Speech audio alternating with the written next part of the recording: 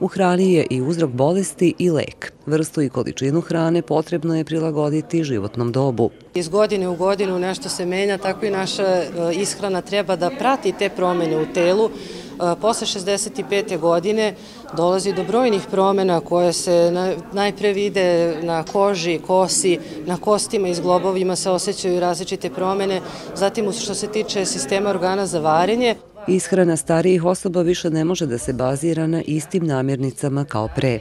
Ni pod razno suve začine e, i pretarane količine soli. Preporuke su znači između 2 i 5 grama soli u toku dana. I ni pod razno ne treba da se unosi više soli zbog e, veoma učestale hipertenzije u, posle 65. godine, zbog ojaznosti. Ono što isto ni slučajno ne treba da se koristi, to su industrijske hidrogenizovane masti, znači razni margarini i namazi koji se uglavnom koriste za doručak. Slična predavanja biće održana i u drugim mestima opštine, a Crveni krst planira da o zdravoj ishrani edukuje i decu u vrtićima i školama. Mi smo primetili da jednostavno problemi u ishrani se ne reflektuju samo vezano za gojaznost. Znači, generalno se to odnosi na celokupno zdravlje.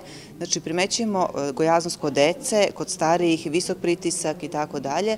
I mi smo rešili da pokrenemo jednu akciju da pokrenemo jednu seriju predavanja koja će se odvijati znači od predškolskih ustanova, osnovnih škola pa do najstarije generacije kao što je evo večeras bilo, ovo je bio prvo predavanje.